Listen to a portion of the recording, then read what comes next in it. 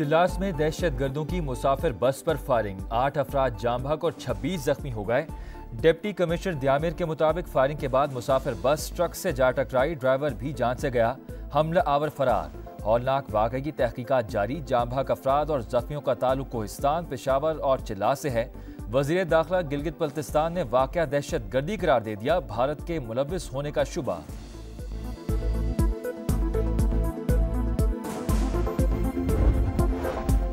गजा में इसराइली फौज की वैश्याना बमबारी जारी, मुमताज़ स्कॉलर सुफियान अहल खाना समेत शहीद। खान जुनस रफा, शुजाया और जबालिया पर बारूद की बरसात 160 फ़लस्तनी जान से गए। इसराइल से अब कोई मुजाकर नहीं होंगे, हमास का ऐलान। मुजामती ग्रुप के नायब सरबराह ने कहा कि दहशत गर्दी बंद होने तक कैदियों का तबादला भी नहीं होगा।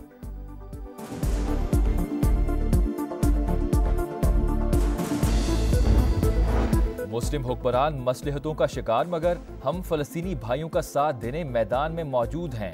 मौलाना फजल रहमान का भावलपुर में तूफ़ान अलक्सा कॉन्फ्रेंस से खिताब। जमात इस्लामी का मुजफ्फराबाद में यकजहती फ़लस्तीन मार्च। सिराजुल हक ने कहा कि कश्मीर और फ़लस्तीन की आज़ादी के लिए खून का आखिरी कतरा बहा देंगे।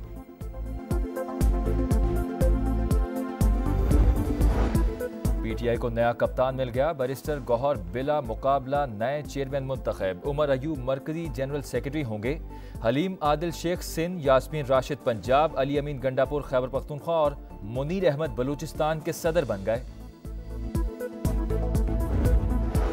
पीटीआई इंट्रा पार्टी इंतबात के खिलाफ तमाम जमातें हम आवाज़। मरियम औरंगज़ेब और फैसल करीम कुंडी ने कहा कि ये इलेक्शन नहीं, सिलेक्शन थी।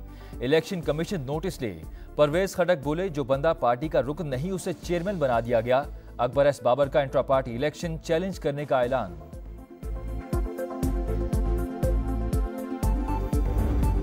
इंतजामिया की मदद से नहीं, अपने नज़रिए पर इलेक्शन लड़ें। वोट की बेइज्जती नहीं, इज़्ज़त करवाएँ।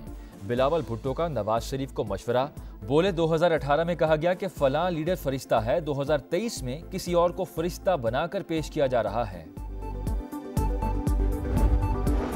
तनकीद करके वोट लेना है तो पूरा ज़ोर लगा लें। राना सनाउल्ला का बिलावल भुट्टो को चैलेंज।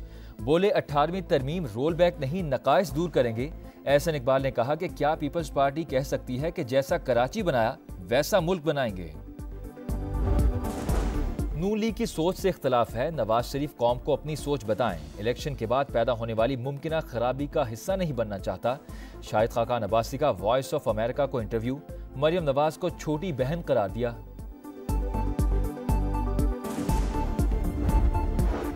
चीफ जस्टिस कादी फादिसा को दबाव में लाया जा सकता है, ना वो किसी की हिमायत करेंगे। हल्फ के मुताबिक फ़राइज की अंजाम दही करते रहेंगे। सुप्रीम कोर्ट का सबक चेयरमैन तहरीक इंसाफ के खत पर एलामिया जारी। सर्वमोहर लफाफे की दस्तावीज मीडिया को जारी होना हैरान कन करार। कौम की हिमायत से दुश्मनों के नापाक अजायम नाकाम बनाएँगे। इलाकाई सालमियत और खुद मुख्तारी के दिफा के लिए हर वक्त तैयार हैं। सिपा सरार का पैगाम।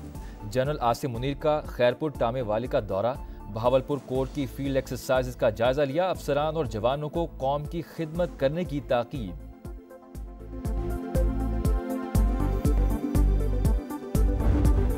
मौसमियाती तब्दीलियाँ इंसानियत के लिए खतरा, आलमी बरदरी से 100 अरब डॉलर्स के वादे पूरे करें। निगरान वजी अजम का दुबई में कोप 28 समिट से खिताब। अमरीका का माहौलियाती फंड के लिए तीन अरब डॉलर्स देने का ऐलान। इटली, जर्मनी और नॉर्वे भी हिस्सा डालेंगे। बिल गेट्स का गरीब ममालिक की मदद करने पर ज़ोर।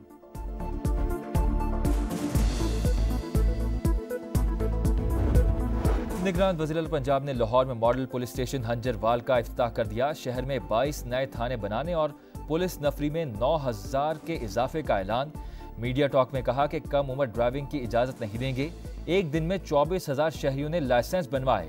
सेफ़ सिटी कैमरों की मदद से भी ई चालान किए जा रहे हैं।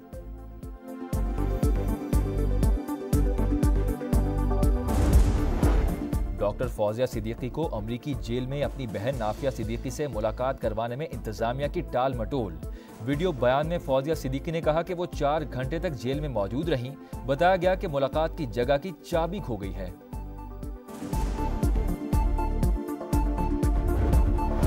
कराची के इलाके औरंगी टाउन में घर में चाय बनाते हुए गोली लगने से 17 साल लड़की जाम भग पुलिस ने मकतूला के बहनोई को गिरफ़्तार कर लिया मुलजिम का कहना है कि गोली पिस्तौल साफ़ करते हुए इतफाकिया चल गई।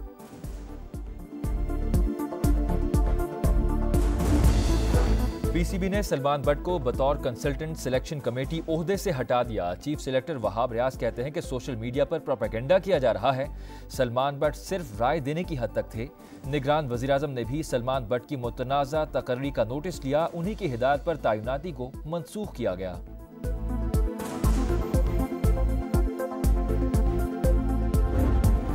और कराची आर्ट्स काउंसिल में आलमी उर्दू कॉन्फ्रेंस। तीस से रोज़ 18 सेशंस और आठ किताबों की रोनुमाई।